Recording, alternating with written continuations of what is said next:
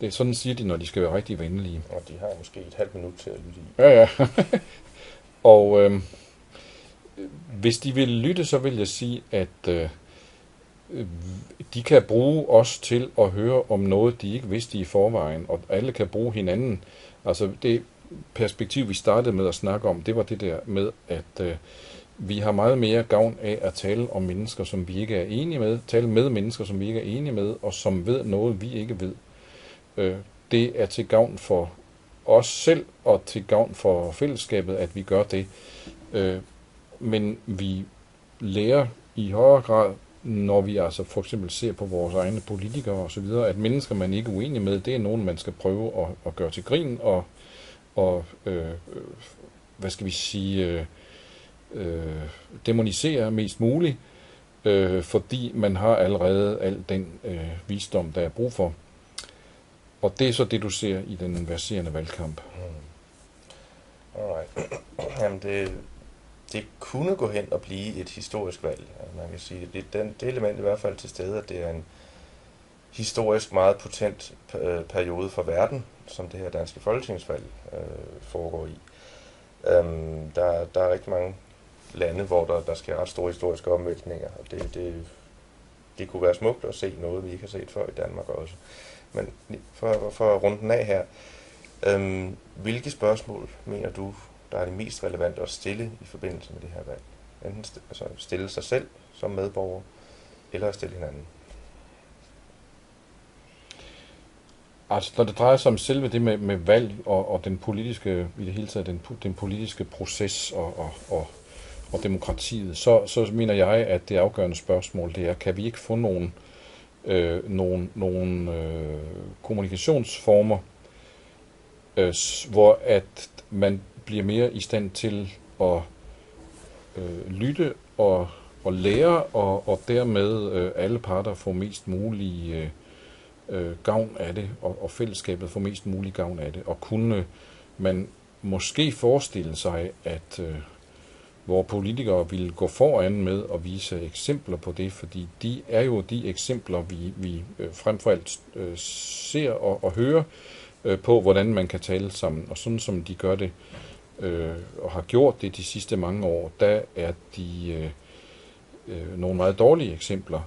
Øh, men altså det at, at høre på noget, man ikke øh, har vidst før, og, og høre på øh, øh, synspunkter, man ikke deler, og på grunden til, at man kan mene noget andet, end man allerede gør, det er ikke bare et spørgsmål om, øh, hvad skal vi sige, at vi skal have det godt sammen og sådan noget, men det er et overlevelsesspørgsmål. Altså, vi skal lytte til de ting, vi ikke kan lide og, og høre.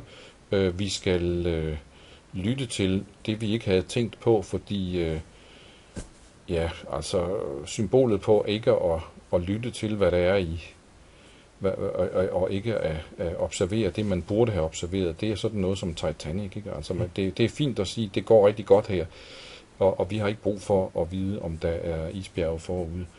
Det, øh, det ved vi er forkert.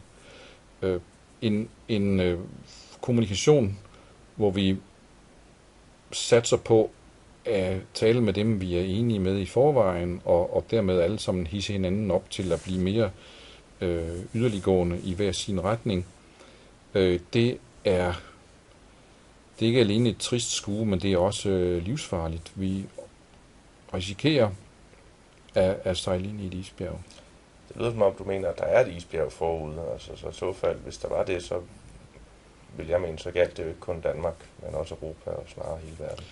Jamen, man har jo talt meget om, øh, at øh, måske er der i virkeligheden et isbjerg forud, dels altså i økonomisk henseende for, for de vestlige øh, øh, magter, som har domineret verden de sidste mange årtier, altså øh, USA eller Nordamerika og, og Europa. Men øh, der er også mange, der siger, at der er isbjerge forude, eller rettere, der er det modsatte. Altså der er smeltende isbjerge forude øh, i forhold til øh, klima og sådan nogle ting. Og det, øh, det sidste nævnte er et af de temaer, som stort set ikke har været nævnt i, i valgkampen. Øh, det er jo et af de temaer, som er eksempel på øh, den der ekokammer-effekt med, at øh, hvis man kun taler med hinanden, øh, øh, altså med dem, man er enig med i forvejen, øh, så, så er det det samme som at have skyklapper på og gå mere og mere i en retning, som sagtens kan tænkes at være øh, helt forkert og, og føre til, øh, til noget katastrofalt. Ikke? Altså, øh, at i, i, i sådan en debat, som, som vi for eksempel ser om, om klima, der har både her i Danmark og, og endnu mere i for eksempel USA, som altid er nogle år forud øh, med tendenserne, øh, der ser vi tydeligt, hvordan øh, øh det er blevet gjort til et spørgsmål om dem og os. Altså, vi har øh, sandheden, og vi skal demonisere dem, der mener det modsatte, og det er så det, det hele drejer sig om. Og det er jo en, øh, en, en holdning, som i virkeligheden så, så åbenlyst er, er, er, er fantastisk farlig. Ikke? Altså at, at øh, gøre den slags ting til politiske spørgsmål, øh, og, og, og betragte dem som noget, hvor det gælder om at, at øh, vinde over modparten, ikke at øh, få den bedst mulige erkendelse af, hvad der er tilfældet. Ikke? Det er sandt. Nu, lige må have på falderæbet. Nu nævnte du selv USA, og, det, og hvordan de ligger foran i trends i forhold til os ganske ofte. Det man så også netop ser, det er, at der er værktøjer som dem her, de er, der er rigtig mange almindelige mennesker, øh, amatørbrugere, som tager dem i brug. Og altså, der er opstået det her større og større fænomen alternative medier, yeah. som langt hen ad vejen er, er godt i gang i USA med at mm-hmm. udkonkurrere mm-hmm. de traditionelle mm-hmm. medier, som der er ikke så mange, der ved. Og det kan man sige, den diskurs, der kører der, den, alle mulige typer, kan man sige, og meget af den er, er også frygtbaseret, kunne man kalde den. Øh, lidt frygt narrativ øh, for de isbjerge, man må, nu måtte man se forud.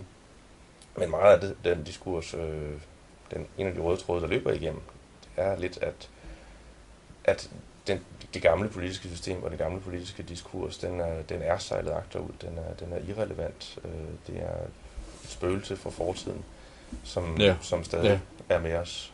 Øh, og det kan man sige, den holdning er jo ved jeg, er svær at få øje på i Danmark. Altså folk, som, øh, som selv mener det, selvom der, der, der er en masse sådan små initiativer i, i undergrunden så virker det som om, at, at den brede befolkning i Danmark sådan stadig er investeret i det, vores nuværende politiske system. Jo, øh, vi har jo også, øh, og det skal vi da være glade for, en øh, stemmeprocent, øh, som plejer at være tårnhøj, for eksempel sammenlignet med den, de har i USA.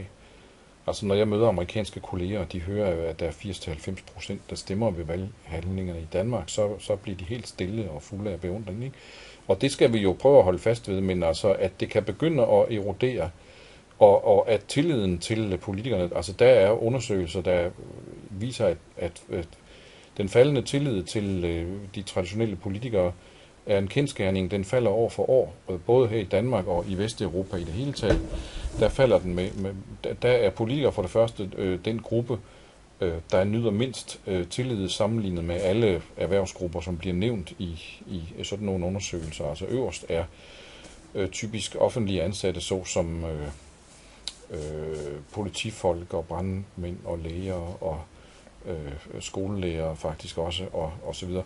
Nederst er systematisk øh, journalister og øh, politikere, og politikerne øh, er bundproppen og synker øh, længere ned år for år.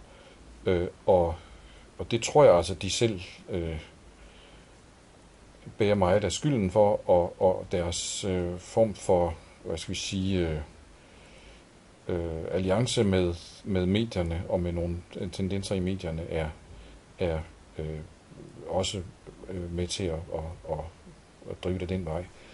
Øh, men men øh, altså, jeg tror, der er en gryende fornemmelse og erkendelse blandt almindelige øh, danskere af, at øh, nu gider vi altså snart ikke, at det skal være på den måde mere. Altså det er noget, jeg hører rigtig meget, øh, når jeg øh, holder foredrag om fordummende uskikke i den politiske debat og, og så videre. Det, det øh, er jo også noget, der trods alt afspejles i medierne selv. Altså, der er rigtig meget kritisk opmærksomhed på, øh, hvordan politikerne de øh, argumenterer og debatterer langt mere, end der var ved valget for fire år siden, for eksempel. Uh-huh. Øh, altså, det, det er ved at, at opstå, og vi rykker ikke så hurtigt som amerikanerne, men, men øh, der, er, der er helt klart noget i gang og øh, øh, jeg har selv skrevet om den slags ting, og jeg tror, jeg har slået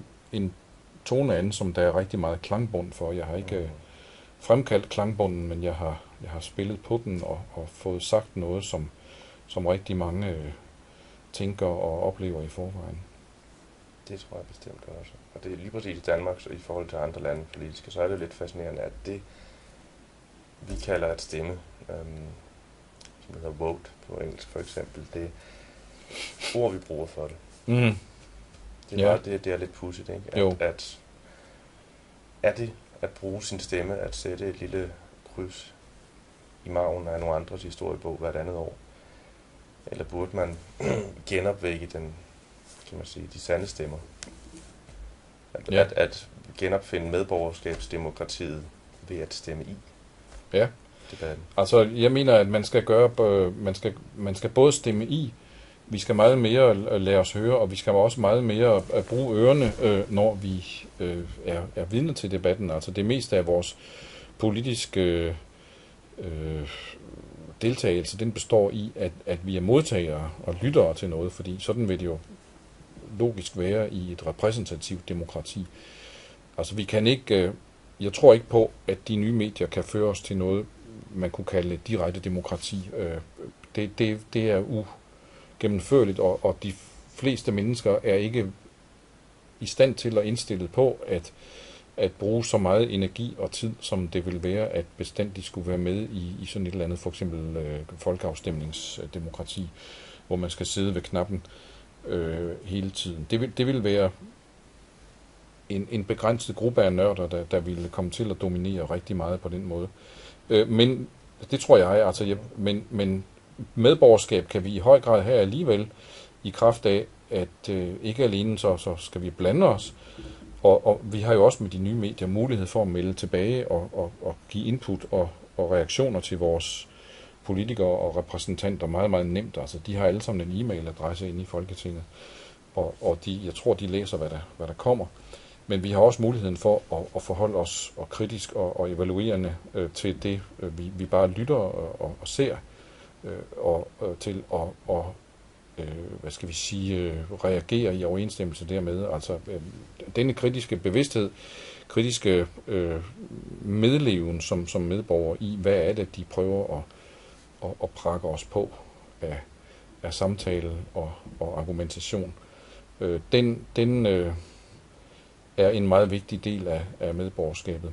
Så både den aktive, øh, talende, hvor vi stemmer i, og den mere øh, passive, modtagende, hvor vi lytter kritisk til det, vi får, er, er vigtige dele af, af sådan et medborgerskabsbegreb. Og, og det er klart, at de nye medier, de, de kan bidrage helt øh, kolossalt øh, på, på begge de måder.